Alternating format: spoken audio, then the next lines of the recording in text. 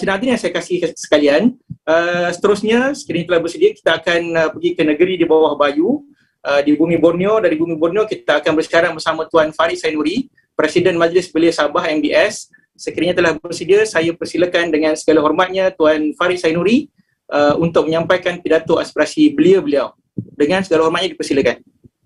Bismillahirrahmanirrahim. Assalamualaikum warahmatullahi wabarakatuh. Terima kasih Cik Din atas jemputan uh, uh, yang saya kasihi dan saya hormati uh, Presiden uh, Angkatan Belia Islam Malaysia, Saudara Faisal uh, dan juga uh, Div-Div Kehormat yang bersama-sama dengan kita pada pagi ini. Saya bersiaran langsung daripada Kota Kinabalu, Sabah. Sekali lagi, Osonong Kaswaban, uh, selamat pagi uh, uh, dan salam sejahtera. Pertamanya kami di Majlis Belia Sabah um, perlu mendahirkan penghargaan dan juga uh, rasa terima kasih kepada Angkatan Belia Islam Malaysia kerana uh, tidak melupakan kami di di bumi bawah bayu dan, juga mungkin di kepulauan Borneo yang mana bagi kami isu keamanan sejagat ini bukanlah isu yang cuma perlu diangkat di peringkat di peringkat nasional sahaja tetapi perlu diangkat uh, mengikut lokaliti masing-masing. Kerana untuk uh, perkongsian kepada tuan-tuan dan perempuan yang sedang menonton Uh, di Sabah sahaja bukan di bandar-bandar besar ya mana ketika isu Palestin ini uh, bermula bukan sahaja di bandar-bandar besar uh, uh, perjuangan ini di, di disokong bersama bukan sahaja di Kota Kinabalu bukan terhad di Tawau bukan sahaja uh, limited disandahkan tidak tetapi bila kami uh, dapati rakan-rakan belia dan juga uh, golongan muda uh, berlainan agama tidak terhad pada Islam sahaja malah rakan-rakan Kristian juga menyatakan sokongan sehingga di ceruk-ceruk kampung di Beluran, di Kina Batangan, Bina Bawan dan mungkin juga uh, tuan dan puan-puan tidak mendengar daerah Tongot ya. Uh, ada rakan-rakan kami yang di daerah luar daripada bandar ini juga turut menzahirkan sokongan mereka dan juga turut mengiktiraf kezaliman dan juga uh, operasi yang dilakukan oleh rejim Zionis yang mereka sedia maklum bahawa bukan sahaja Muslim sahaja yang ditindas di, di bumi Palestin tetapi juga rakan-rakan yang beragama Kristian juga turut dibantai di sana malah tidak tidak tidak had pada Islam dan Kristian sahaja tetapi uh, semua orang dibantai yang kecuali yang sokong Zionis. Ya, jadi bagi kami isu keamanan sejagat ini harus diangkat ya, sebagaimana yang kita lakukan pada hari ini uh, hinggalah ke peringkat lokaliti masing-masing kerana semuanya bagi bagi saya setuju untuk kita semua anti kepada peperangan. Suka juga untuk saya berkongsi, kami di Sabah merupakan uh, wilayah yang sangat hampir dengan negara negara jiran kita yang mengalami se- situasi yang lebih kurang sama. Yang boleh dikatakan bukan peperangan skala besar tetapi peperangan mengikut di kawasan mereka iaitu di selatan selatan Filipina.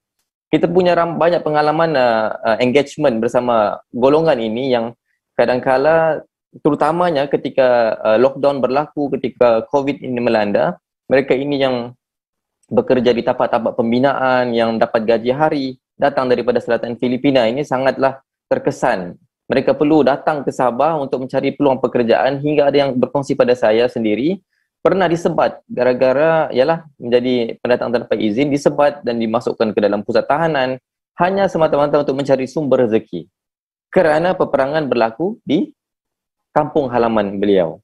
Ha, jadi sangat menyedihkan. Tidak perlu pergi jauh tapi kita dapat merasakan kesan-kesan peperangan, kesan-kesan ketidakamanan ini uh, bukan sahaja merosakkan uh, the whole society tetapi juga di peringkat individu hinggakan mereka terpaksa berhijrah, hinggakan mereka terpaksa uh, masuk secara haram untuk mencari peluang uh, dan juga mencari sumber rezeki. Ada juga yang berkongsi setiap malam, saban malam akan kedengaran bunyi-bunyi bom uh, di selatan Filipina kerana ketidakamanan yang berlaku. Uh, jadi suka juga untuk sebenarnya saya, saya lanjutkan lagi bicara. Suka juga untuk saya uh, uh, lontarkan sebuah hadis Nabi sallallahu alaihi wasallam man la yarham wa la yurham. Ketika itu yang di mana Nabi pesan kepada kita bahawa kalau kita tidak mengasihi, kita tidak akan dikasihi. Ya, kerana di mana saja kita berada, di mana penindasan berlaku, kita perlu bersikap prihatin, perlu bersikap empati.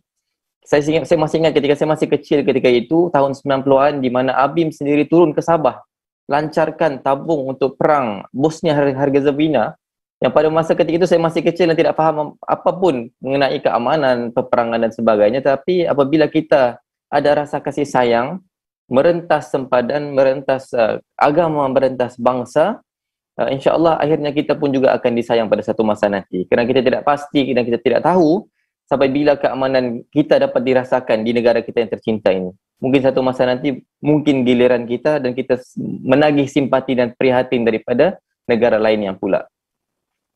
Uh, perlu juga saya iktiraf betapa kekuasaan ataupun uh, social media power yang berjalan ketika uh, kempen peperangan ini uh, di Palestin berlaku uh, sangat merubah persepsi dan juga uh, memberi penjelasan yang sangat baik kepada masyarakat masa. Kerana saya masih ingat ketika uh, bantuan flotila tu Gaza daripada Turki ke Gaza dilancarkan beberapa tahun yang lepas, sambutan media dan juga sambutan selebriti dan juga influencers tidak semeriah seperti uh, kesan perang uh, Palestin Israel pada yang yang ketika ini. Uh, atas sambutan uh, coverage daripada media masa yang digerakkan oleh uh, masyarakat umum akhirnya ramai yang memihak kepada keamanan dan memihak kepada uh, rakyat Palestin yang ditindas. Kerana sudah semakin jelas dan nyata betapa Zionism ini sebenarnya adalah sebuah oppression dan occupation bukannya uh, peperangan antara dua negara. Tetapi adalah satu penindasan yang berlaku daripada satu pihak yang yang mendapat dokongan yang kuat kepada mereka yang lemah. Dan bagi saya boleh diibaratkan apabila tiada transparansi dan bila berlaku opresi social media boleh jadi suatu uh, medium suatu kuasa yang boleh membuka pekung-pekung membuka uh, kebobrokan yang berlaku di mana-mana sahaja. Uh, jadi adalah penting dan juga untuk kita teruskan usaha tidak terhad pada pagi ini tetapi berterusan bukan sahaja untuk uh, rakan-rakan kita di Palestin tetapi juga negara-negara lain yang belum mencapai keamanan yang mereka tidak boleh bangun pagi dengan senyuman untuk kita terus bersama-sama perjuangkan nasib mereka. Uh, untuk menutup uh, uh, sesi aspirasi uh, kami daripada Majlis Belia Sabah di, di Kepulauan Borneo, izinkan saya lontarkan sebuah pantun. Kopi tenom membugar mata, bayu nabalu mengusik jiwa. Perjuangan kita memanusiakan manusia agar keamanan sejagat dirasai bersama. Sekian, terima kasih. Wabillahi taufiq. Wassalamualaikum warahmatullahi wabarakatuh.